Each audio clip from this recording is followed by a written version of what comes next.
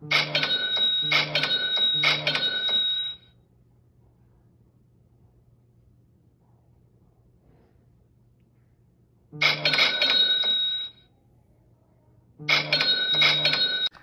que foi crucial para você nos primeiros 100 mil?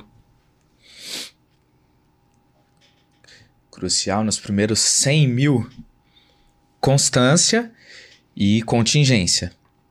Foi a constância de você tá sempre testando criativos novos e de você ter contingência. Não adianta você validar um produto se você não tiver contingência, principalmente se você trabalha com ofertas black ali, que são ofertas com promessas, que o Facebook a gente sabe que ele não gosta muito, é contingência. Você tem que ter contingência. Foca nisso, porque o tráfego em si, para quem já começou, para quem já deu o primeiro passo, já está faturando alguma coisa, é uma coisa simples. Se você tem um produto que consegue te dar ali 10 mil reais ao mês, talvez se você jogar uma escala maior, ele não. Ele pode acabar diminuindo o seu ROI. Então, cria um, faça um outro produto.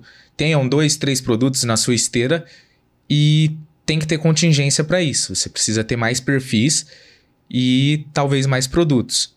Que aí, quando for saturando, você vai ter sempre um produto novo para estar tá rodando. Show.